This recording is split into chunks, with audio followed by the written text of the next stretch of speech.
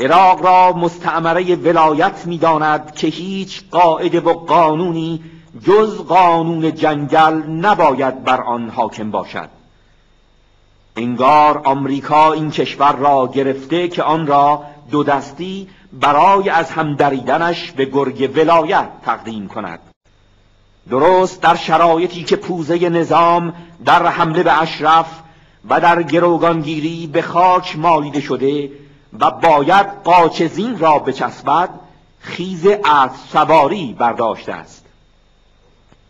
در حالی که مرکب فراخان ملل متحد در هفته گذشته درباره حفاظت از ساکنان اشرف در برابر کوچ اجباری اخراج یا بازگرداندن اجباری آنها به ایران که برخلاف اصل نان و قوانین بین المللی است خشک نشده متقاضی استرداد مجاهدان اشرف است.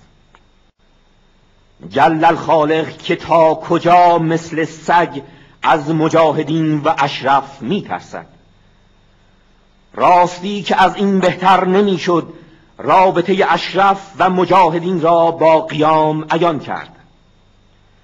همان چیزی که قبل از هر کس و بیش از هر کس رژیم می‌فهمد و در خیابانها می‌بیند و حس می‌کند.